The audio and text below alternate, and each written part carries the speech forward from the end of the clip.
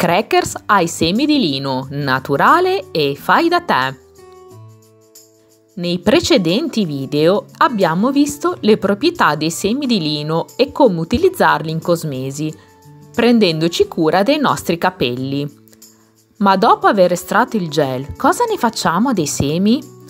Oggi vi mostro come riutilizzare i semi in cucina, in modo tale da avere zero sprechi.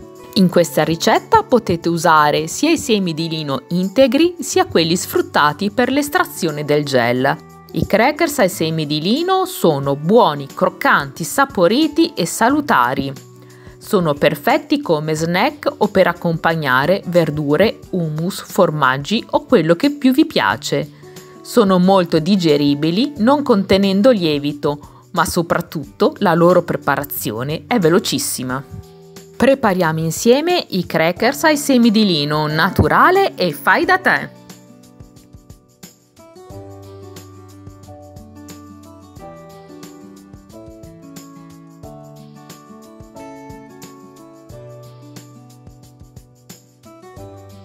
Questi sono i semi di lino avanzati dall'estrazione del gel. Ed ora prepariamo i crackers. Ne prepariamo due versioni. La prima la prepariamo col bimbi. Nella seconda utilizziamo il metodo tradizionale con condimenti diversi. Nel boccale inseriamo 75 g di farina di avena. Io ho utilizzato i fiocchi integrali e li ho triturati, riducendoli in farina. Poi aggiungiamo 75 g di farina integrale o di farro, 60 g di semi di girasole, 40 g di semi di sesamo, i nostri 30 g di semi di lino, in questo caso io ho utilizzato il residuo dell'estrazione del gel, un cucchiaino di semi di finocchio, un cucchiaino di sale, chiudiamo col coperchio e azioniamo la macchina 10 secondi velocità 5. Come vedete abbiamo triturato un po' il tutto. Aggiungiamo 210 g di acqua e 30 g di olio. Chiudo col coperchio e impasto un minuto modalità spiga.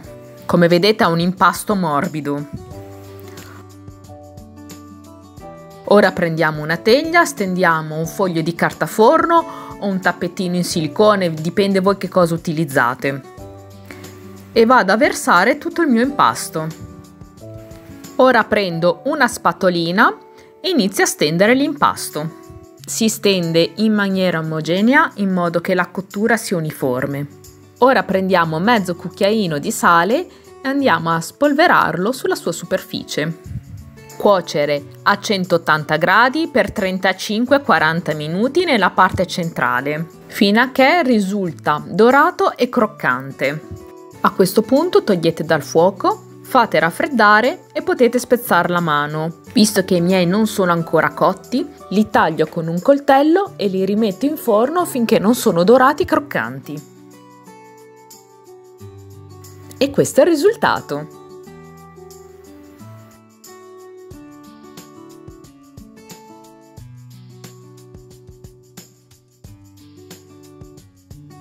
In un piccolo mixer inserisco 60 g di semi di girasole, 30 g di semi di lino e 50 g di acqua.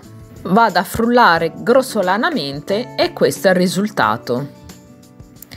In una ciotola vado a mettere 75 g di farina di avena, 75 g di farina integrale o di farro, Inseriamo i nostri semi triturati, 40 g di semi di sesamo.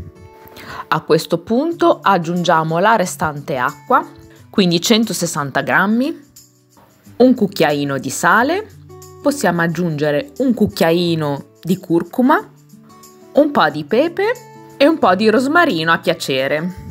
Io utilizzo il rosmarino che ho fermentato con tecnica fervida e dopo che ho filtrato l'ho essiccato. È ancora profumatissimo e buonissimo. Miscelo tutto il composto finché l'impasto risulta liscio e omogeneo.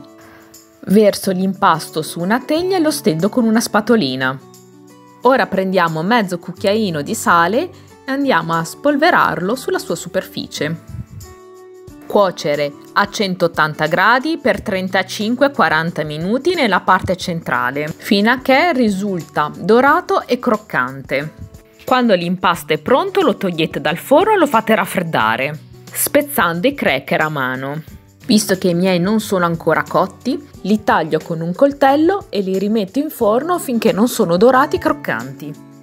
I nostri cracker sono pronti per essere gustati, sono buonissimi e molto facili da fare. Potete cambiare gli ingredienti a vostro piacimento e sbizzarrirvi con la fantasia. Buon appetito!